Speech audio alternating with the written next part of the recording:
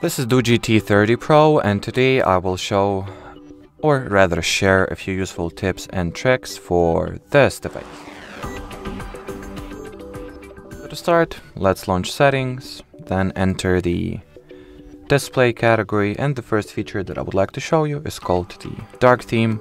Once enabled, you can, as you can clearly see, the interface uh, inherits the dark interface mode, so everything is darker, easier on your eyes. It obviously also reduces the power consumption, so by enabling the dark theme, you will not only prevent the eye fatigue, but also you will conserve some of your precious battery life. So if you want to, you can enable this feature. You can also tap over here and set up the automatic schedule for this mode to be automatically enabled and disable that. For example, uh, it is really useful feature once it's dark outside or your ambient lighting is simply insufficient. Usually it happens during the dark hours of the day, so that's why. Anyway, you can set your custom schedule and make it so that at any time the dark theme will be automatically enabled and disabled respectively. The next option you can also find at the same display category of settings. It is called the night light and once enabled, as you can see now, it tints the screen amber, uh, makes the interface colors easier on your eyes. Basically the way it works, it just filters out the excess amounts of blue light.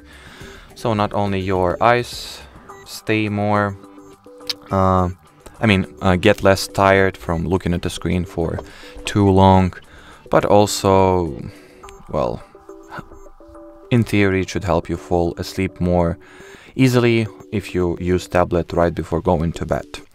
Uh, once enabled, you can also change the mode intensity and, well, its yellowness, should I say, and you can as it, as it was with the dark mode you can set up the automatic schedule for this mode to be automatically enabled and disabled at set times.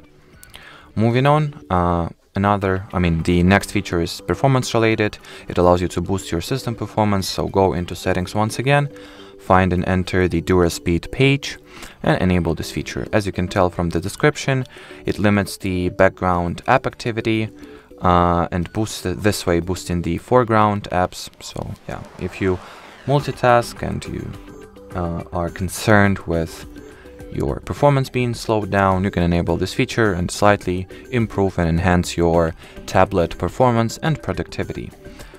Well uh, moving on to the last tip that I have for you today guys. You can also enter it from the settings it is called memory expansion and once enabled it provides you with additional amount of RAM gigabytes, anywhere between, well, 0 and 7 gigabytes here, as you can see.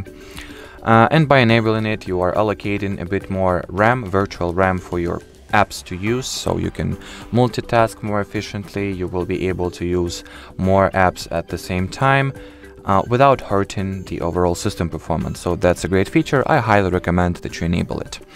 Uh, the only quirk that we have here is that in order for it to take effect once enabled you need to restart your tablet. So simultaneously press the volume up and power buttons to launch the power off menu and then restart your tablet so the memory expansion feature will have a chance to be properly applied. And well, that'll be it not only for the last tip but for this video in general, so thanks for watching, thanks for your attention and bye bye.